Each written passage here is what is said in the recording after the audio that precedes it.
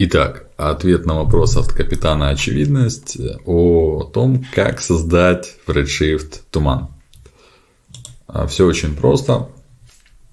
В environment and effects, то есть который вызывается клавишей 8, добавляем Redshift Volume Scattering. То есть add и выбираем Redshift Volume Scattering. Здесь настройки очень простые.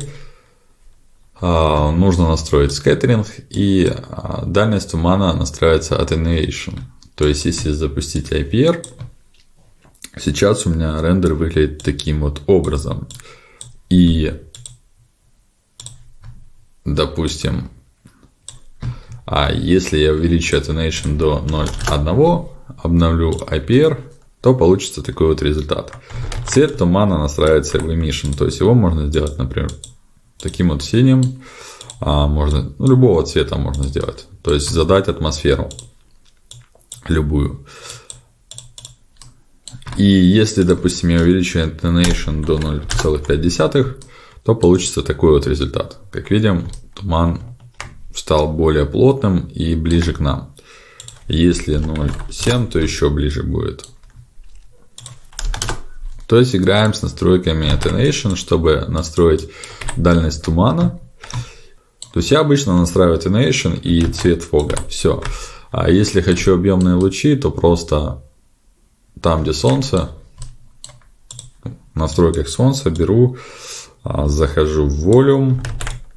И здесь, если увеличить Contribution Scale, только его нужно очень маленькие значения, то будет объемный такой вот свет, 0,01, например от э, сол, Солнца. То есть, если 0, то выглядит таким вот образом. Если 0,1, точнее 0,01, то будет такой вот объемный свет.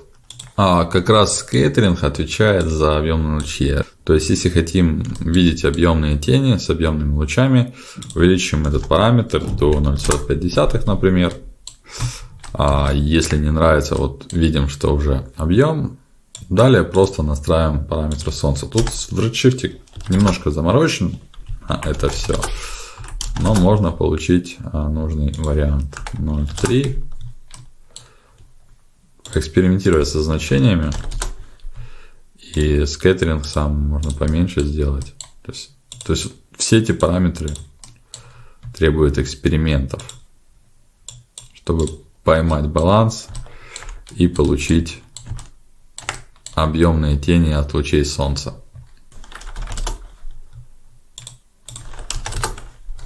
Вот. Каким-то таким вот образом можно а, получить объемные тени от солнца и сам туман.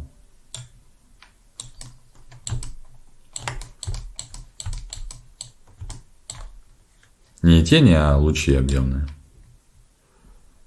Вот таким вот образом.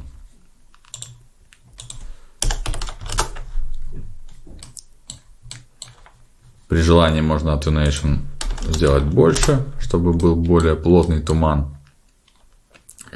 Силу тинта. То есть, чем плотнее туман, attenuation, тем сильнее должно быть э, настроено солнце. То есть, сила солнца, contribution scale можно прям увеличивать. Это сильно, вот примерно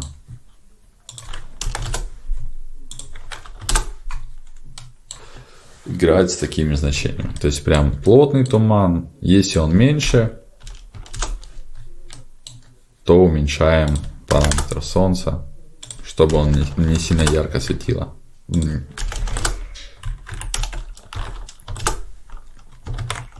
То есть солнце contribution scale, а сам туман и его затухание attenuation, а, влияние на солнечные лучи, скеттеринг. То есть можно даже не солнце трогать, а крутить скейтринг. Таким вот образом.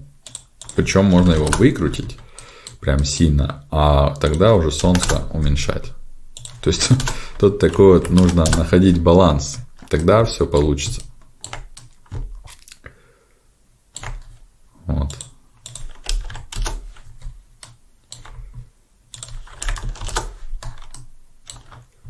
Еще можно поиграть с Face, то есть э, там как раз направление настраиваются лучи от нас, то есть, э, точнее, от Солнца идут на нас, или наоборот, если это значение будет меньше, то от камеры. Допустим, минус 0,6 получится такой вот результат тумана. То есть, как в короне, в принципе, все настраивается. Но лучше ставить это значение больше нуля. Таким образом, получится более интересно такие объемные тени.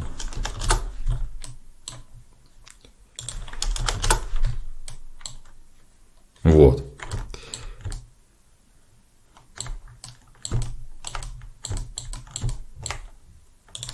Можно поменьше. Опять же экспериментируем со скеттерингом. Intonation поменьше. Так. И получаем такой вот солнечный туманный город. Это все, что я хотел показать в этом видео. Благодарю за просмотр и желаю хорошего настроения.